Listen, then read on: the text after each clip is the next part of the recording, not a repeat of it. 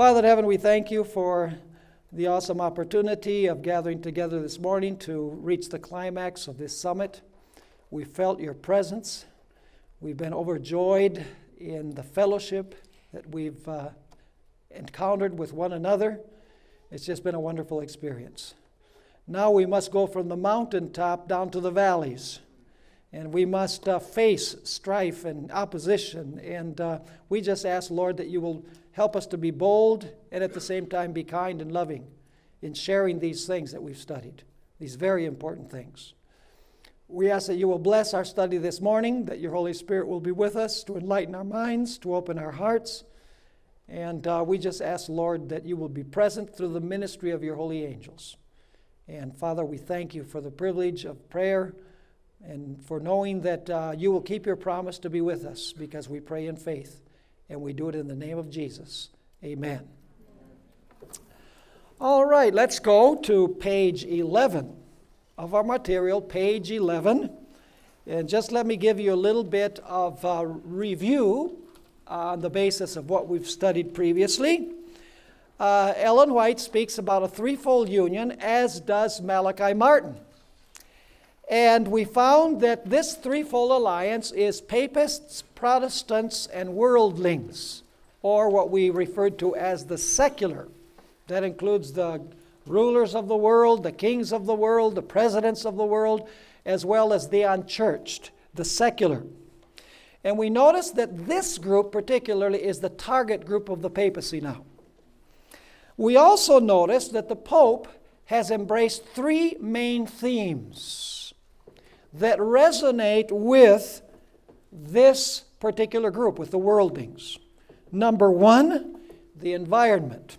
Number two, family. Now, he hasn't, the Pope hasn't addressed overtly whether the family is male and female or male and male and female and female. He's just emphasizing the family without emphasizing the, the heterosexual aspect. And then, number three, the importance of uh, supplying the needs of the poor. And we notice also that he placed all of the other social issues like euthanasia and abortion and same sex marriage, he's put those on the back burner because his purpose is to win over the politicians of the world, the secular of the world, the secular media, and so on, that don't identify with the, with the conservative social agenda. Um, and then we also noticed in our study that God gives the reason why we should care for the environment, why we should emphasize the importance of the family structure, and why we should care for the poor. And the reason is creation. We should care for the environment because God made it and it's His. We should care about the family structure because God on the sixth day created the family, male and female, and told them to be fruitful and multiply, to form families. We should also care for the poor because they were created by God. So, the reason why we should emphasize these three themes, which there's nothing wrong with the Pope emphasizing these three themes, except for the motivation for doing it that he has, is creation. But we notice that creation took place in six days, and then God established the seventh day as a memorial of creation.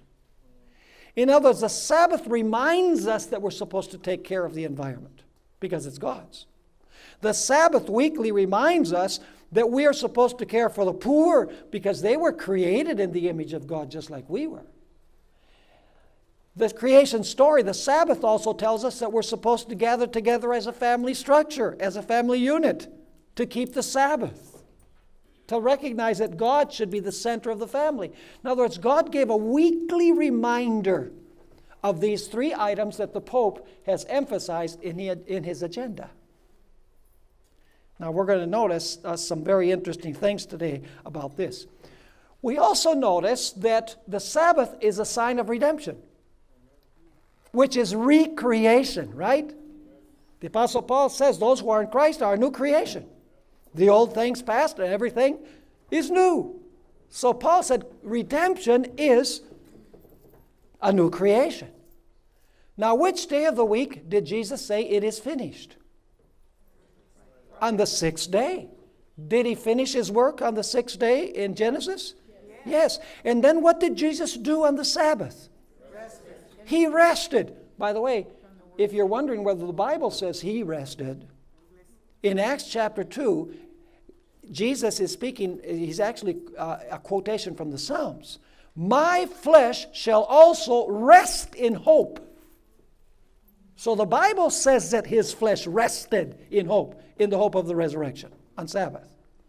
And then, of course, the followers rested the Sabbath day according to the commandment. So the Sabbath now becomes a sign of what? Of redemption, just like it was a sign of creation. And then we also notice that in the future, when God makes a new heavens and a new earth, what will be the sign of the Creator? It will be the Holy Sabbath. And then, as we ended our study yesterday, we noticed that the Bible has a very interesting end time scenario. The Bible tells us that the end time, this world is going to unravel at the seams. Things are going to get worse and worse and worse and worse until the only hope of the planet is the second coming of Jesus Christ in power and glory. If not, there would be no flesh left alive. That's what Jesus said. So it's not going to get better and better by solving the problems of the environment, by providing for the needs of the poor, by emphasizing the family structure. None of that is going to fix this. Things are going to get worse and worse and worse until the only hope of the world is in a glorious, literal, personal, rapid second coming of Jesus Christ in power and glory. And then this world will be without form and void for a thousand years. And then after the thousand years, God will create a new heavens and a new earth where we will live with Him forever. That is the biblical scenario. Now let's go to the bottom of page 11. Are we all caught up? Yes. Now let's go to the bottom of page 11. And let's study the papacy's view of beginnings. And then we're going to study their view of endings because their view of endings is in harmony with their view of beginnings. See, if we believe that God created this world in seven days and it was rapid and it was supernatural, well, you can believe that the end is going to be rapid and supernatural. But if you believe the beginning was not rapid and supernatural, you have to believe the same about the end time. Now, let's take a look at this. The papacy's view of beginnings is radically different. According to recent popes, primarily after Pope Pius XII, who ruled from 1939 to 1958. He's the infamous Pope of the Nazi regime. We won't get into that. By the way, before him, most Roman Catholic scholars taught that creation was literal. But after that, recent popes began teaching that life on earth came into existence by a big bang and then evolved over the course of millions of years. According to this view, at some point in the evolutionary process, God gave a well developed simian a human soul. And this marked the beginning of the evolutionary development of Homo sapiens. Roman Catholic popes and theologians, primarily after the time of Jesuit paleontologist Pierre Teilhard de Chardin, Frenchman, Jesuit. He is the guilty one that changed the Roman Catholic view from creation to evolution. He's a contemporary of Pope Pius XII. By the way, a fascinating book that I'm reading now, it's called The Jesuits by Malachi Martin.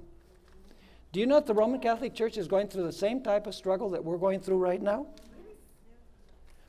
Malachi Martin was a very conservative Jesuit, extremely conservative. He wanted to go to before Vatican II. Uh, you know, Vatican II allowed now to say the Mass in English and, you know, gave the Roman Catholic Church a facelift, so to speak. Didn't change its nature, but gave it a facelift. But Malachi Martin, in, in this book, shows how the Jesuits have liberalized the Roman Catholic Church to make it palatable with worldlings. It's a fascinating, it's a long book, it's about 500 pages long. It really gives you a bird's eye view. There's, a, there's, there's three or four chapters just on Ignatius Loyola, which are really eye opening, the spiritual exercises, and so on. But anyway, let's get back here to this. Once again, Roman Catholic popes and theologians, primarily after the time of Jesuit paleontologist Pierre Teilhard de Chardin, teach that the story of creation cannot be taken literally. It is a symbolic myth. Thus, the Pope, in his encyclical, refers to the language in the creation story as a symbolic narrative. In the papacy's view, God used evolution as the mechanism to bring into existence what we see today in the world. Now, listen Pope John Paul II, and this is before the present Pope. Pope John Paul II, in a speech to the Pontifical Academy of Sciences in 1996, had already referred to evolution as more than a theory. And now I quote John Paul II.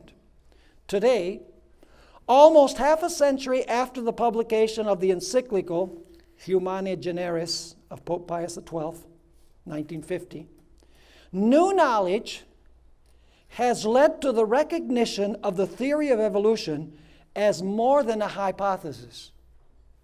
He's saying that evolution is more than just a hypothesis.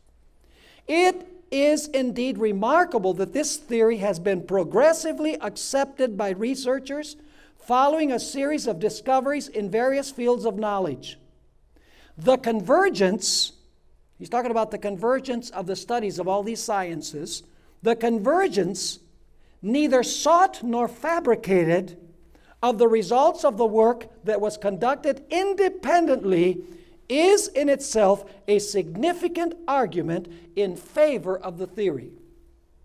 So, what he's saying is that biology and uh, and uh, chemistry and all of these sciences, they have studied, you know, the origin of life and they've all reached the same conclusion that the world came into existence through the mechanism of evolution. In typical Jesuit fashion, Pope Francis I has also attempted to reconcile the creation story with the evolutionary, evolutionary theory by synthesizing them. Thesis and antithesis synthesis, Hegel's philosophy, which we've already heard about from other speakers.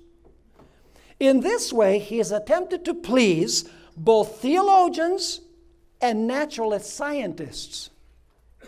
Have your cake and eat it too, in other words. The secular, he wants to please, and the religious. In his own words, now I'm quoting Pope Francis I the Big Bang which today we hold to be the origin of the world, does not contradict the intervention of the divine creator, but rather requires it. Evolution is in nature is not inconsistent with the notion of creation. Because evolution requires the creation of beings that evolve.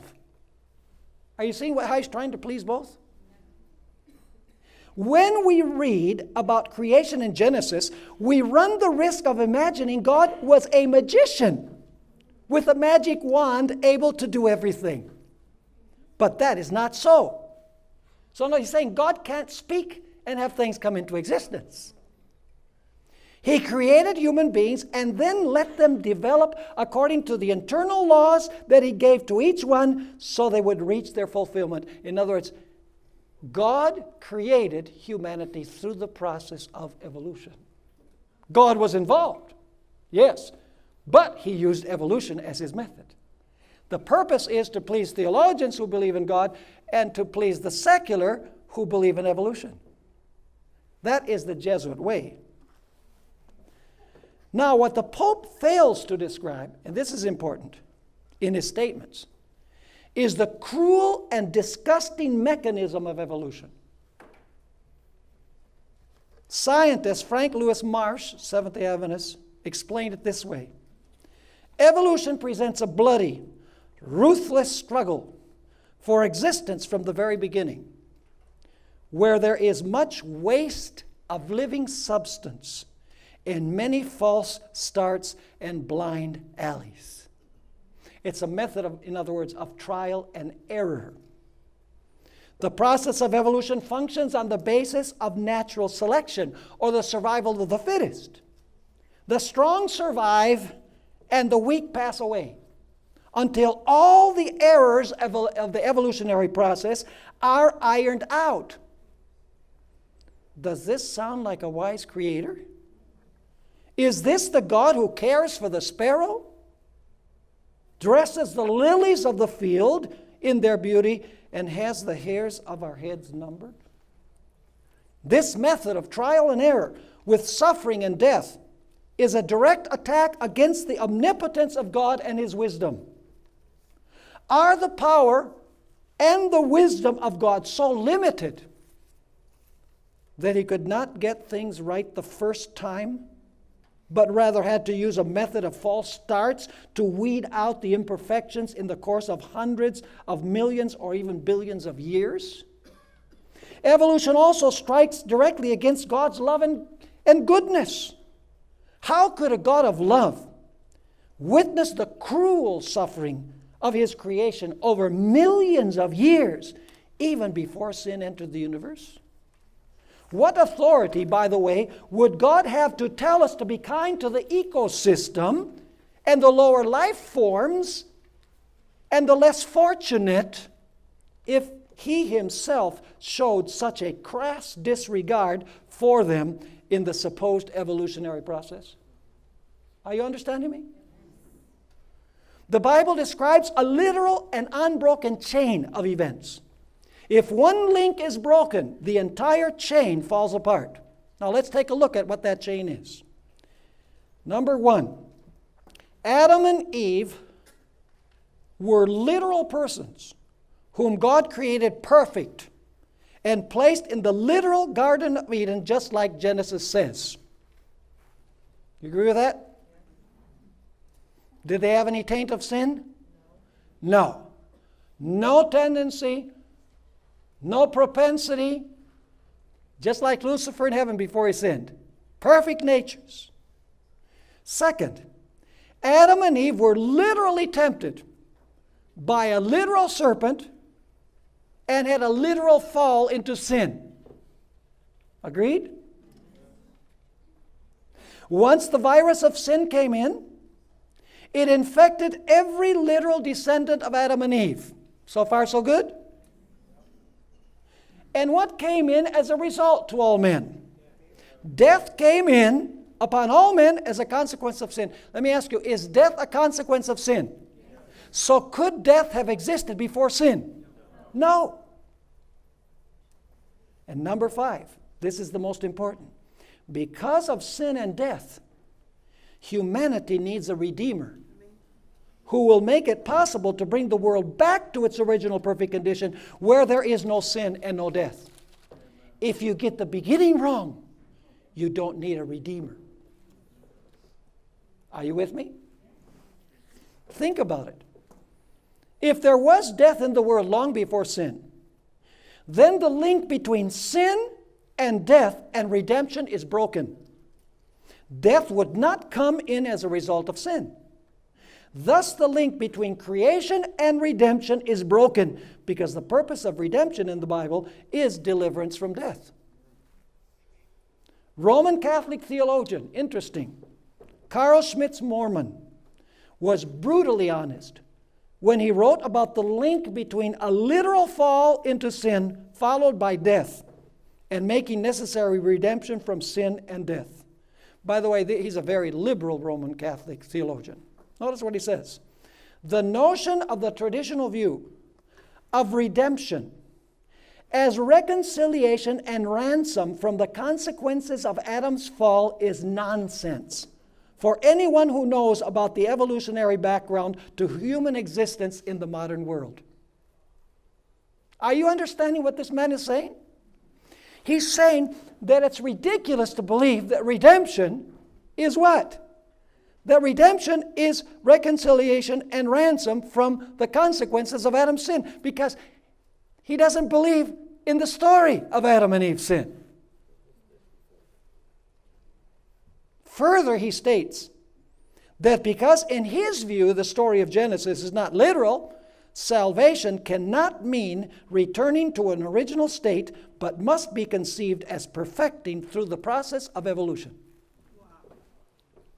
Is that the Seventh day Adventist view? By the way, do you know something? All of these views of the emergent church that are starting to enter, enter the Seventh day Adventist church are based on the theory of evolution. Those who are propounding them, they might still say today, we believe in creation, you know, and they, they might think in their minds that they can reconcile creation with pantheism, but ultimately they will lose their view of the Creator God. Because that happened with Kellogg. The target of the devil is creation and the Sabbath and ultimately redemption. That's why Ellen White says that these views will sweep away the whole Christian economy. There will be no Christianity left if these views are embraced. This is serious, what we're talking. You know, we didn't just choose this theme at this summit because we thought that it would be a nice thing and it would attract a lot of people. We're serious about this. At stake is the existence of our church. Do you think it's important that we speak about these things? We can't stay quiet. Now let's continue. Excuse my zeal. I love this is my church. I love this church. You can't let this church go down the tubes. I'd rather fight than switch. Some of the old timers will remember that. the question that begs to be asked is this in this scenario, how much longer must creation wait before the process of evolution reaches its omega point, to use the words of Chardin? Will it take millions of years? Billions? How many millions or billions of years must we wait for lambs and wild beasts to live together in harmony? And for wars to cease? How much longer must creation cry out in pain for its deliverance? The evolutionary scenario certainly doesn't offer us much hope for an imminent coming of Jesus to quickly make all things new. Because where are we in the process of evolution? There still might be millions of years for the mistakes to be ironed out. Will cha- change take place over vast periods of time? Or will it be in a moment, in the twinkling of an eye at the last trump? Clearly, our view of how things began will certainly impact our view of how things will end. Now, let's talk about evolution and the Sabbath. It has become common for Roman Catholic theologians and some evangelical and Adventist ones as well to refer to the stories of Genesis 1 through 11 as non historical legends what would happen with the Sabbath if the story of creation did not literally take place just as Genesis describes it? The answer is inescapable. If the days of creation were not literal 24 hour days, then the seventh day was not either. And the Sabbath, as a perpetual memorial of a loving, wise, omnipotent Creator, evaporates. The target of the devil is the Sabbath, folks. Actually, Francis's concept of beginnings is incongruous. In other words, it doesn't fit with his expressed desire to address climate change, family values, and the plight of the poor. Why should we respect creation if it has evolved over millions of years and is still in the process of evolving? If by a process of natural selection or the survival of the fittest, the strong survive and the weak disappear. Why should we help the underdog? Why should the haves be concerned about those who have not? Is it not the mechanism of evolution that the strong thrive and the weak disappear? Only when we realize that all persons are God's creatures, created originally and literally in the image of God, will we feel the desire to care for them and provide for their needs. Further, if the creation story did not literally take place, how can we argue that families should have a father and a mother rather than two fathers and two mothers? See, the target of the devil in getting rid of creation is getting rid of heterosexual marriage. Because if the story of creation didn't take place as it's in the Bible, then you cannot say that God established the Sabbath or heterosexual marriage. Those are the targets of the devil, the two creation institutions. The papacy claims that climate change is caused by human activity and must be resolved by mere human methods such as conservation, recycling, eliminating fossil fuels, and international laws and treaties adopted in response to the moral voice of the Roman Catholic papacy. We know that one of those international laws will eventually be mandatory Sunday rest. This law will presumably give a rest to the environment, provide family time for worship, help people connect with their spiritual roots, and give the poor a rest from the endless capitalist cycle of work. This, in turn, will supposedly bring in the long expected millennium of peace and prosperity under the moral leadership of the papacy guiding the civil powers of the world. Thus, in this misguided scenario, the planet will have reached the ending point of the grand design. Are you catching the picture? Now, we've studied the Roman Catholic view of beginnings. Let's see if their view of the end squares with their view of beginnings. Can we expect, continuing here, a rapid supernatural end to human history with an evolutionary model? Impossible. If the original creation was not supernatural, rapid, literal, and perfect, could we expect that when God creates a new heavens and a new earth, it will be so? The papacy's view of the end is compromised by its view of the beginnings. How many more millions of years must we wait for the process of evolution to work out its quirks, wrinkles, and flaws? For Roman Catholic theologians and popes, the blessed hope of the church is not found in the second coming of Jesus. The goal is for the papacy to take over the kingdoms of this world. By joining church and state in order to establish a theocratic kingdom where the church will control and provide moral guidance for the state. I ask, how many times did you hear John Paul II refer to the second coming as the great hope of the church? None. How many times have you heard Pope Francis say that the second coming is the great hope of the church? None. Because that is not the hope of the Roman Catholic Church. That is not the eschatology of the Roman Catholic Church. The eschatology of the Roman Catholic Church is through the moral guidance of the papacy, combined with all of the nations of the world, in this case it would be the United Nations, they're going to establish a theocracy like the one that existed during the 1260 years. And there will be a millennium of peace. Have you heard that quotation from Ellen White about them, this bringing in the millennium, the long expected millennium? The Reformed scholar Harold Robbins, in his book Ecclesiastical Megalomania, page 187, expressed he's a Presbyterian, he's a Reformed scholar, he's not Seventh day Adventist, but he knows what the papacy's up to.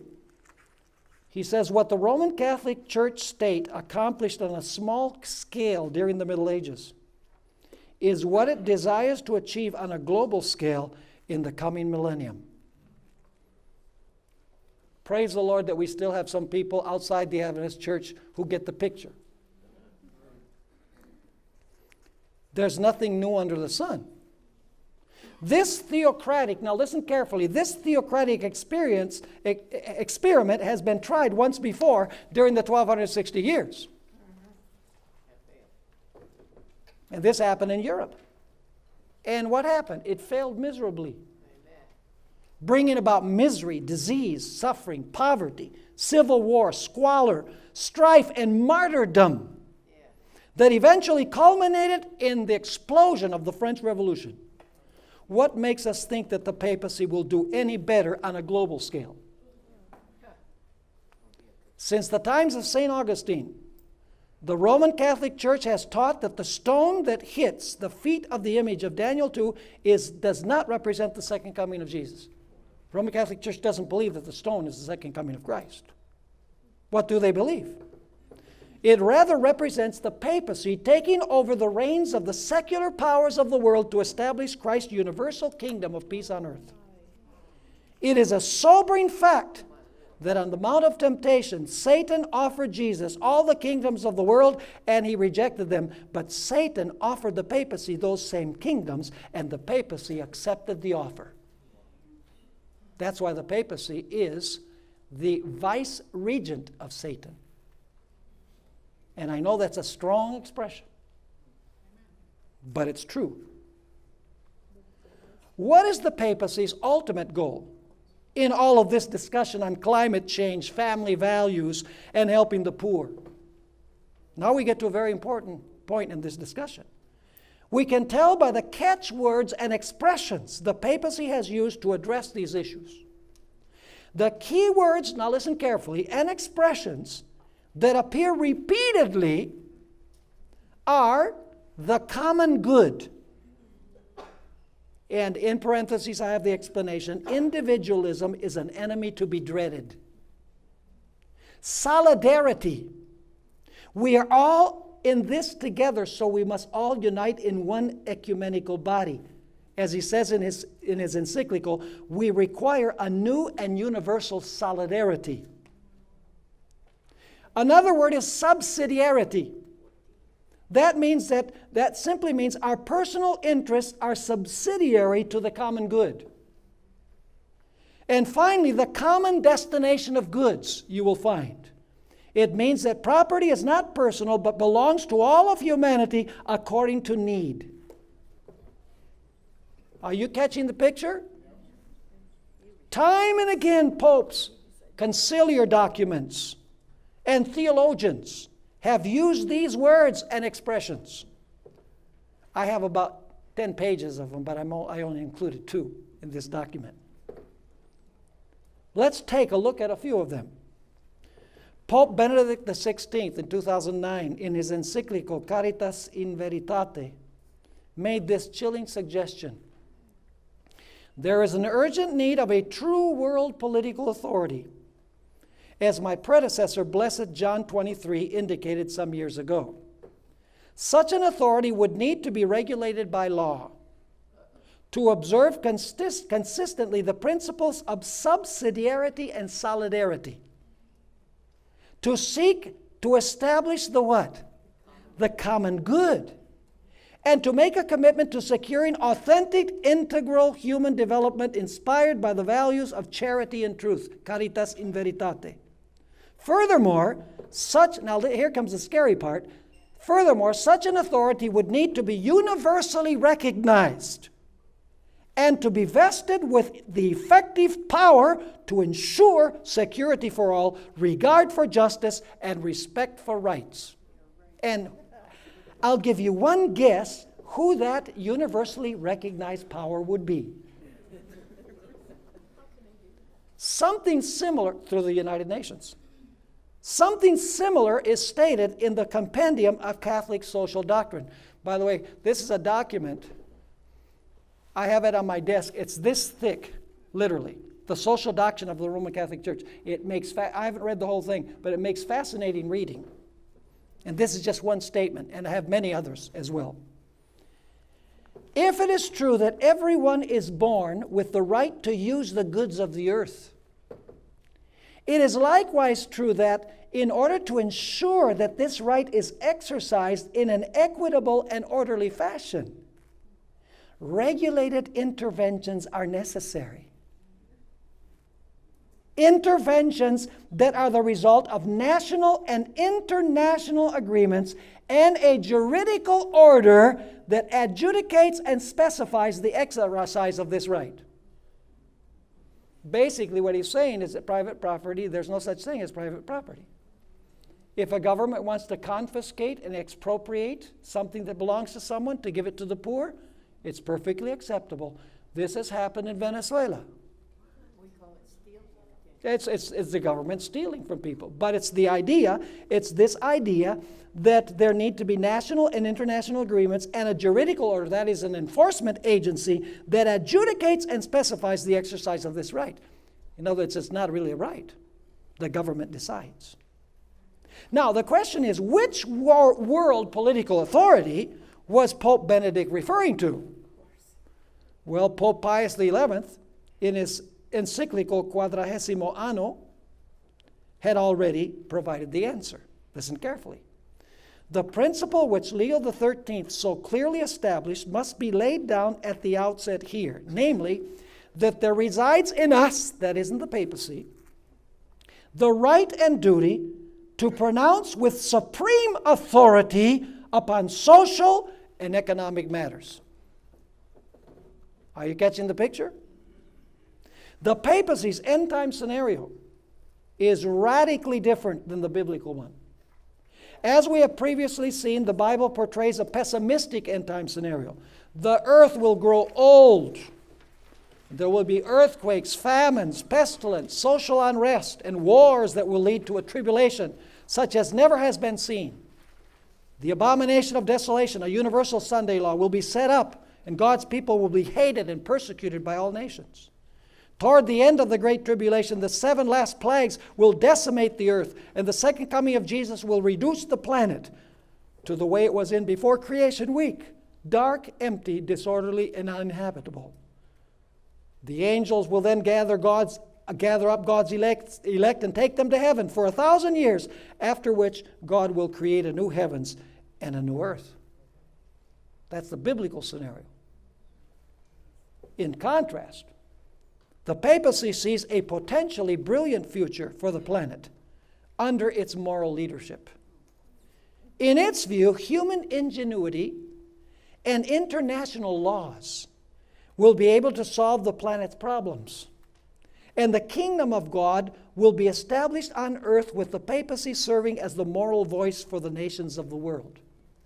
Thus, Pope Francis, in his speech to the United Nations, stated this. Notice how it's centered in human beings' laws and taking care of the environment and providing for the poor. This is what he said Among other things, human genius, well applied, will surely help to meet the grave challenges of ecological deterioration and of exclusion of the poor. So, what's the solution for the problems of the poor and for the ecosystem? Human genius. The papacy believes that this theocracy will bring about the long expected millennium of peace. By the way, that's what Protestants also believe. And that's also what the secular people will come to believe. The papacy believes that this is going to happen and that prosperity will come as a result. You see, for the papacy, this world is our permanent home. An idea that contradicts the Bible, of course. According to Scripture, we are strangers and pilgrims on this earth. The heavenly city is our home. Amen. Our citizenship is in heaven, from where we expect Jesus at his second coming. Amen. Is it any coincidence that the wicked in Revelation are portrayed as the earth dwellers, which are glued to this planet? The Pope has linked these three causes to captivate the world climate change, poverty, and family. And here comes a very important point. He has linked all three with Sunday sacredness. This is not a Seventh day Adventist imposition. He has said this. According to the Pope, capitalism has enslaved the poor and deprived them of necessary rest, and therefore international governments should draw up laws that would pressure private enterprise to give them a Sunday rest. It reminds me of the Dodge Ram advertisement that Alan mentioned yesterday. By the way, this has already been done in the Pope's native Argentina. And there is great pressure to do the same in the European Union. Are you aware of the fact that the papacy and the uh, labor unions and the churches in Europe are pressuring the European Parliament to uh, give Sunday off, to close all of the businesses on Sunday so that people can go back to church. Because only 6% of the French attend Mass on a regular basis. So the way to solve that problem is to make a law that closes everything down and then they'll go to church. Boy, that's a good motivation.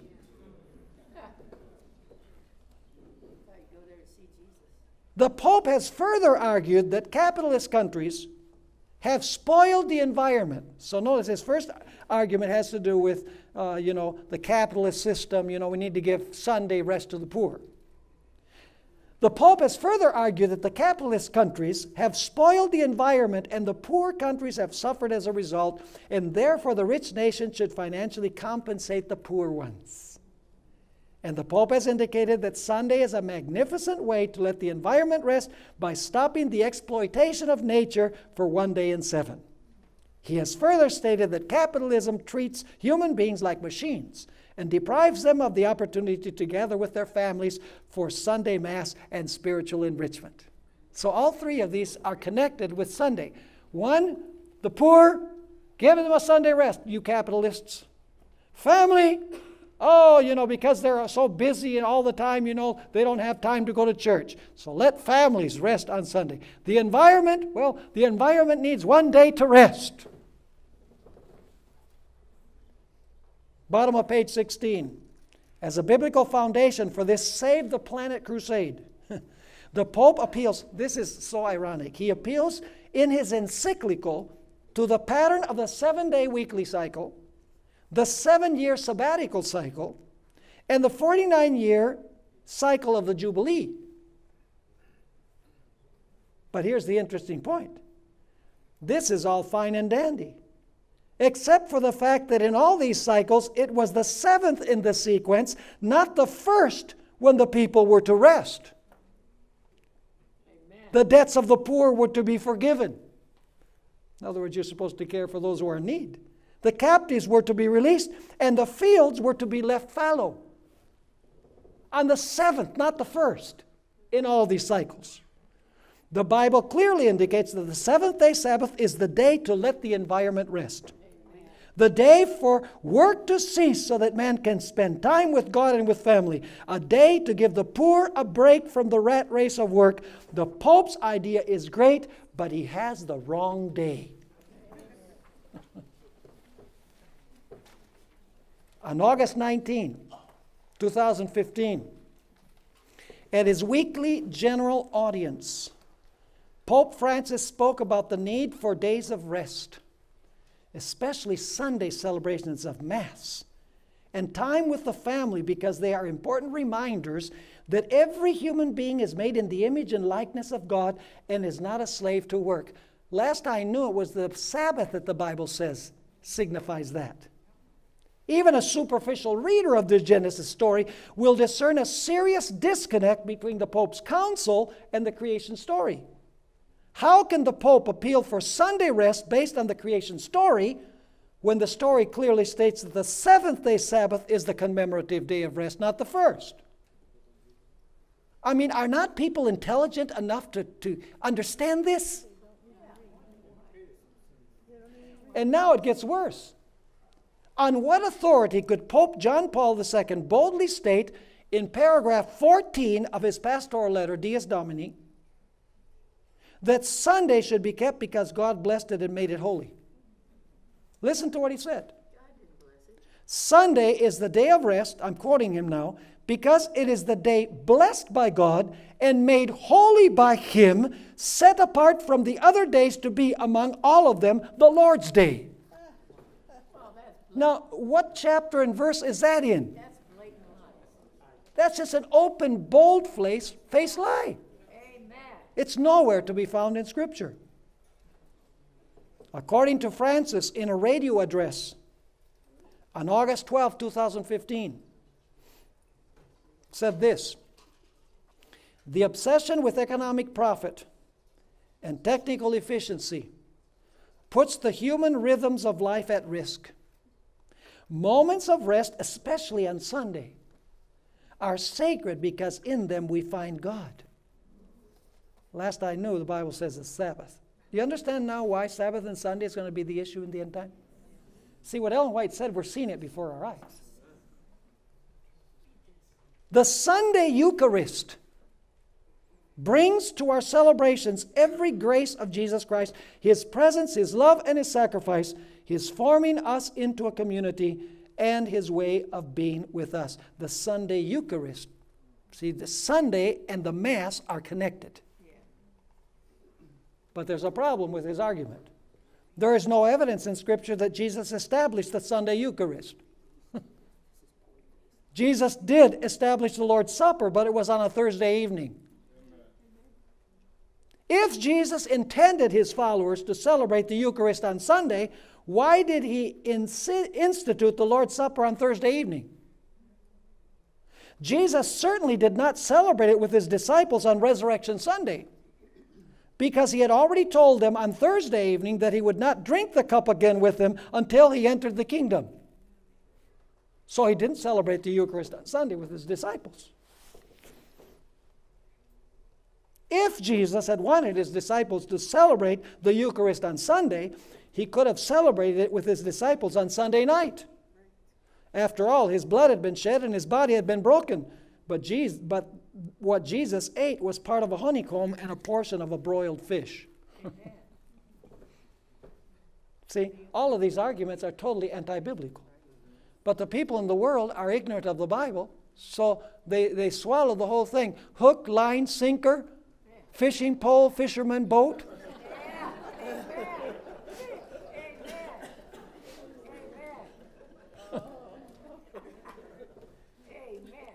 And in a somewhat pantheistic conclusion. You need to read the conclusion to his encyclical. You know, I would uh, encourage you read the whole thing. It's long. It's about 130 some pages, 237 I think paragraphs. It's divided in paragraphs. In a somewhat pantheistic conclusion, wow, it's scary what he says there at the end. You can see why he would exalt Thomas Merton uh, as one of the four heroes when he gave his speech uh, heroes from the United States in his speech before Congress. Francis ends his encyclical by appealing to the Mass, to Sunday, to the Trinity, that needs to be revisited, and the intercession of Mary. Intercession of Mary. Yep. There is much truth in the encyclical, but it is laced with error. I mean, the, are the causes bad? Is it bad to emphasize family? Is it bad to care for the environment? No. Is it bad to care for the poor? No. Good causes. Wrong motivation. If you drink 100,000 parts of water mixed with one part of cyanide, it will kill you. A great degree of truth laced with a slender part of error can be spiritually deadly. Now let's go to the next section a deceptive system.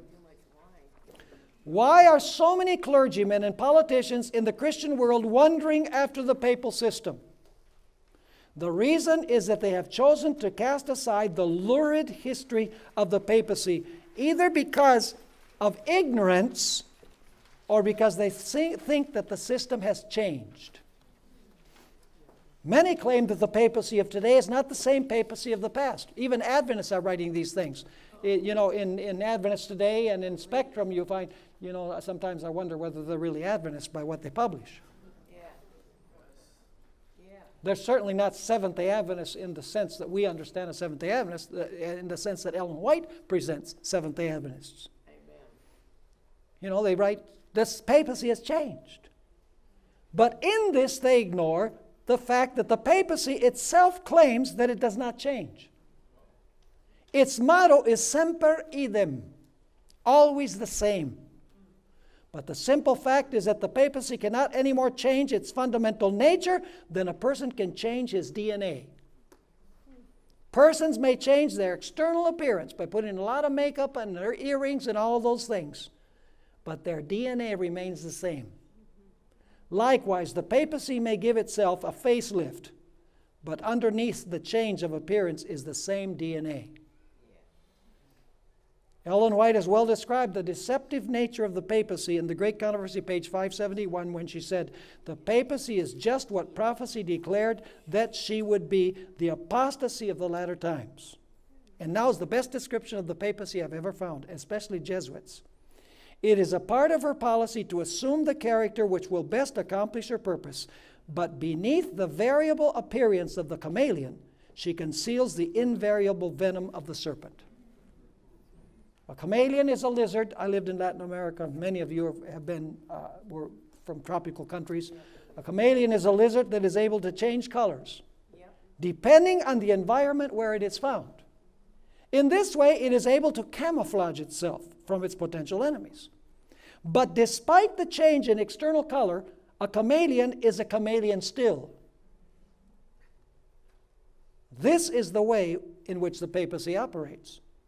On the surface, it appears innocuous and charitable, but by its very nature, when it ascends to power, it is despotic, totalitarian, and rules with an iron fist. And that's what people don't realize. And Ellen White says the United States is playing around the snare. And once the United States is caught in the snare, it will not be able to escape. It'll be too late. Many have pointed out that the Jesuit Pope Francis I has exhibited great love for the destitute and outcast of society. He washes the feet of prisoners, lives in humble quarters, drives an old beat up car, lays hands on children, hugs lepers, refuses to judge gays, speaks about love and peace, and fights for the preservation of the environment. Above all, he defends the rights of the poor. This has led most of the world to have a positive image of the Roman Catholic system, hasn't it? Yeah. It is striking that what Francis does is quite similar to what Jesus did while he was on the earth. Did Jesus bless the children, lay his hands on children, and embrace the poor, and refuse to judge the, those who were sinners uh, in, the, in the view, in the eyes of the righteous people of that day and age? Absolutely.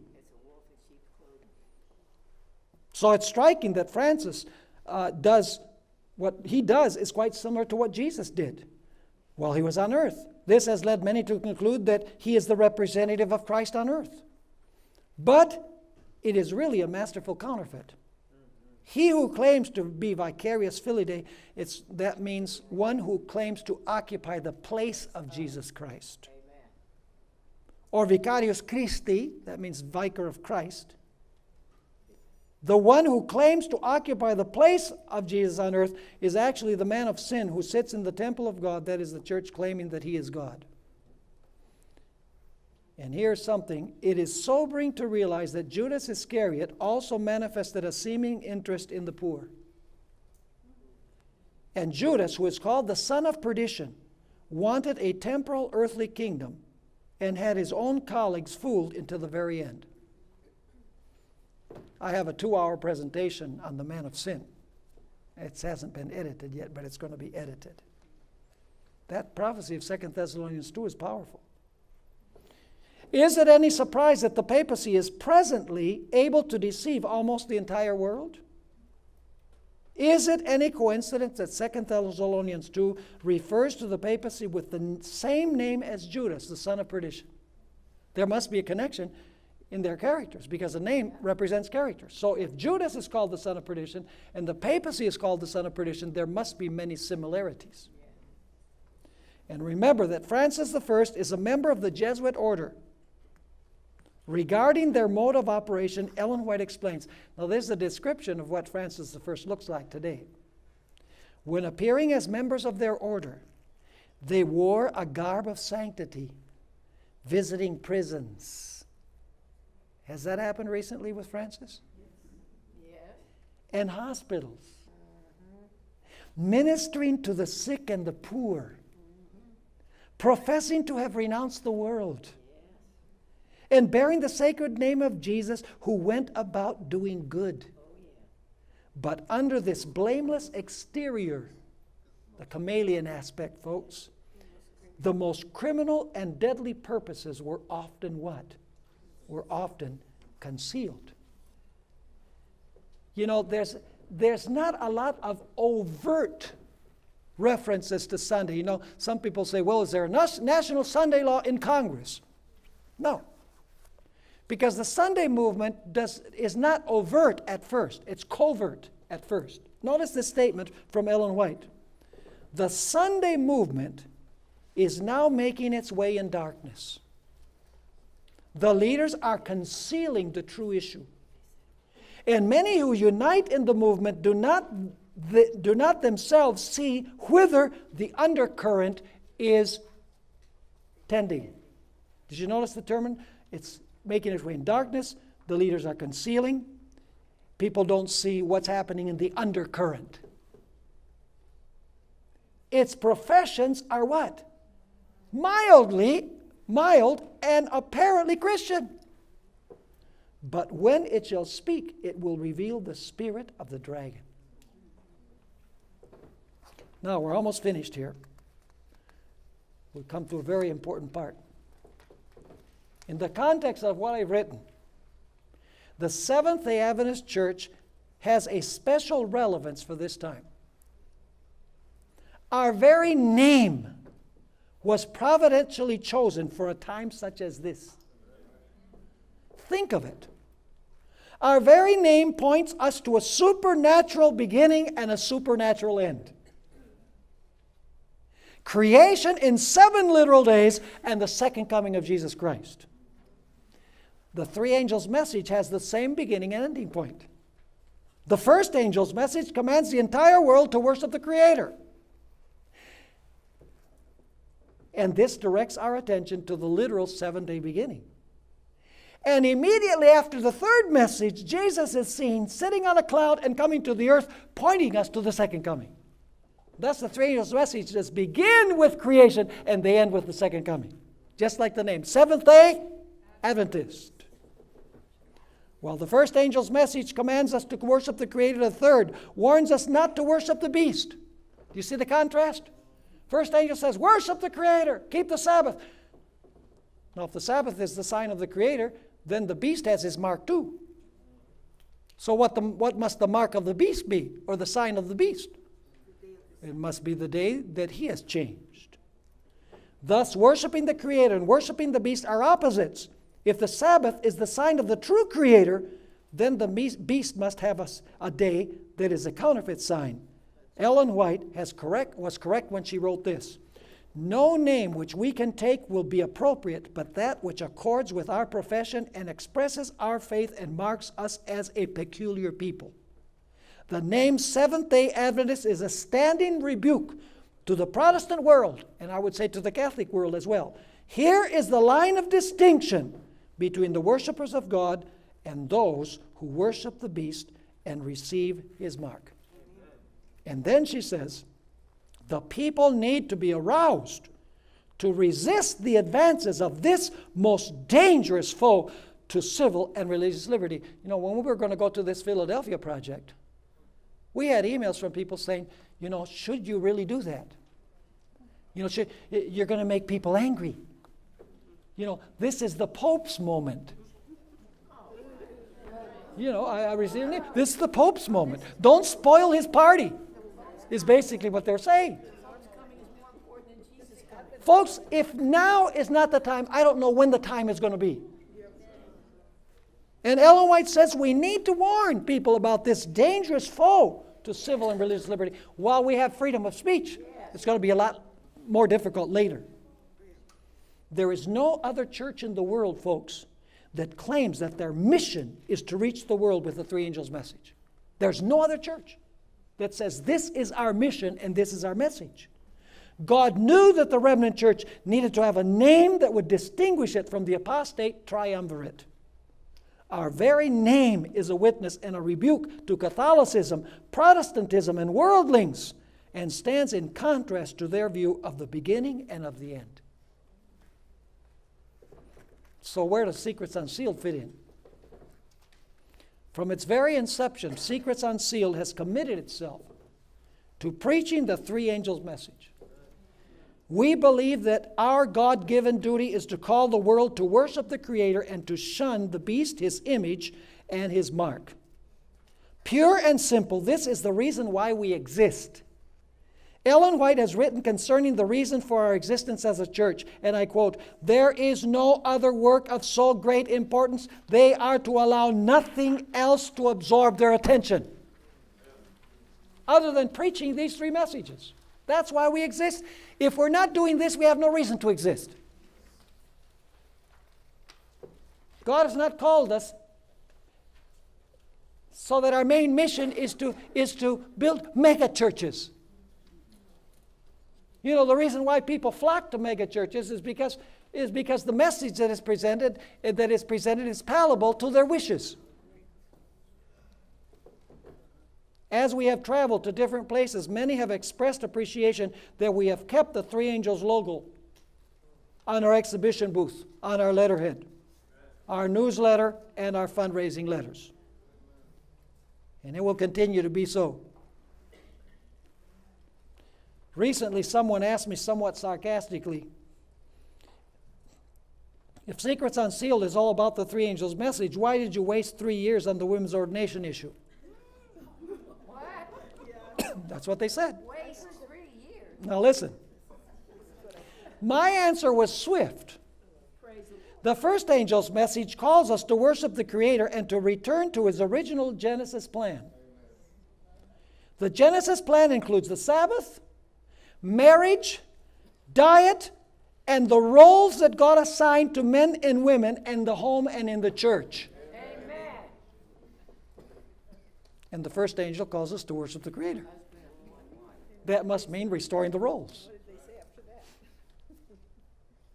Not much.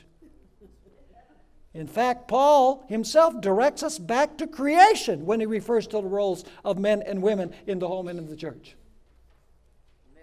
Furthermore, the relationship of the Father and the Son in the Godhead is reflected in the relationship between Adam and Eve at creation.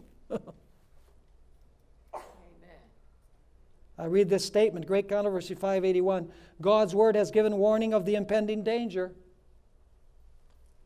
Let this be unheeded, and the Protestant world will learn what the purposes of Rome really are, only when it is too late to escape the snare. They're fooling around at the, at, the, at the opening of the snare right now. They don't know that they're playing with fire. We need to tell them.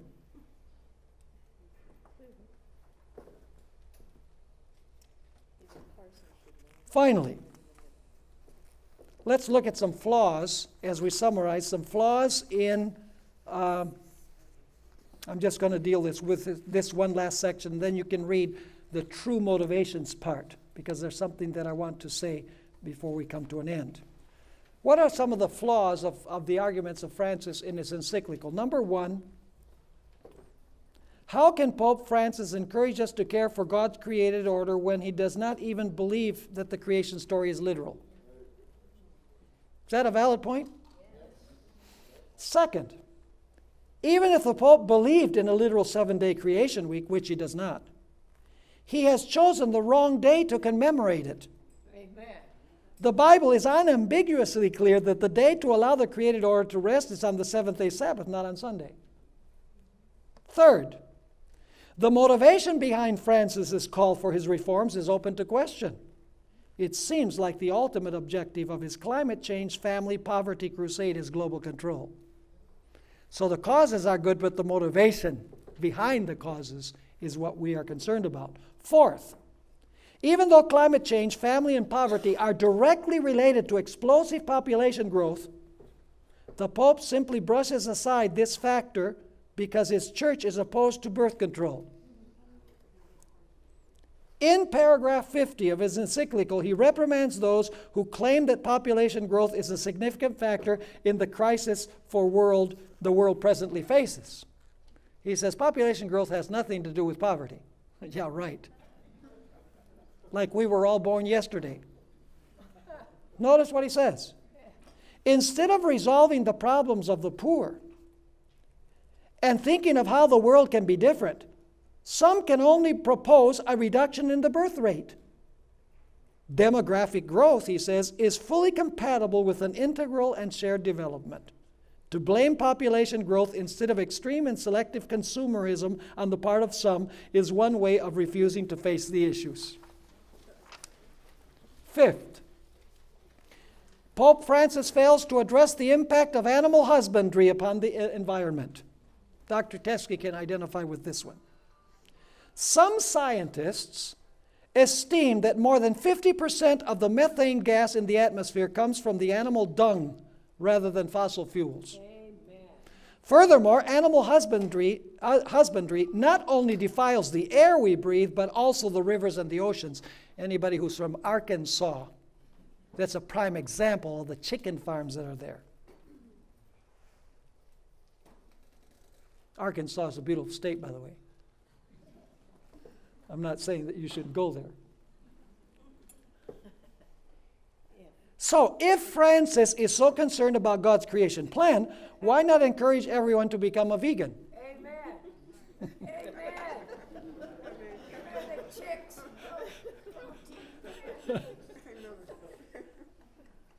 what good is it to tell everyone in the Vatican to turn off lights and to turn down the air conditioners and then be a voracious meat eater, as an Argentinian, by the way? that keeps the meat producers mass producing animals that will defile the environment. Finally, Francis lacks a clear concept of how things began and how they will end. The Bible states that things will wax worse and worse, and the second coming will be the only solution to the problem. The Pope, however, sees a great future for the planet under the moral leadership of the papacy. And then the final section deals with how you can really resolve these issues. The real problem, folks, is not the problems with the environment and the poor, the problem is with human selfishness. And unless you resolve the problem of human selfishness, these other problems will never be resolved. Now, in conclusion, what can we do when we leave this place? Some practical suggestions. Number one, take the presentations that we have produced here. They will be on YouTube. Uh, they're not on YouTube now, right? We're not live streaming. We'll put them on YouTube. They'll be available to everybody. Make sure you send uh, these to as many people, the, the news about them to as many people as you can, your Facebook, email, etc. Use social media to share this, this uh, uh, summit as well as the symposiums that have been done previously on this particular issue. Second, start a study group in your home and invite people to come. By the way, don't do this secretly behind your pastor's back. Tell your pastor, you know, I, I want to start a study group in my home. There's, there's no reason why the, they should forbid you from doing that in your own home. Show them the, the, these videos. Other uh, faith increasing materials. Number three, pray without ceasing that the Lord will be with His church and that the Lord will make the necessary adjustments. Speak from person to person about the dangers that are facing the church. Some will listen, some won't. You know, the ones who don't listen you know, that have their minds made up, you know, Jesus said, shake the dust off your shoes and go to the next person. There will be people who will listen. Let's not keep silent. Let's speak up. Let's be nice. Let's be loving and kind, but let's be bold and clear and firm at the same time.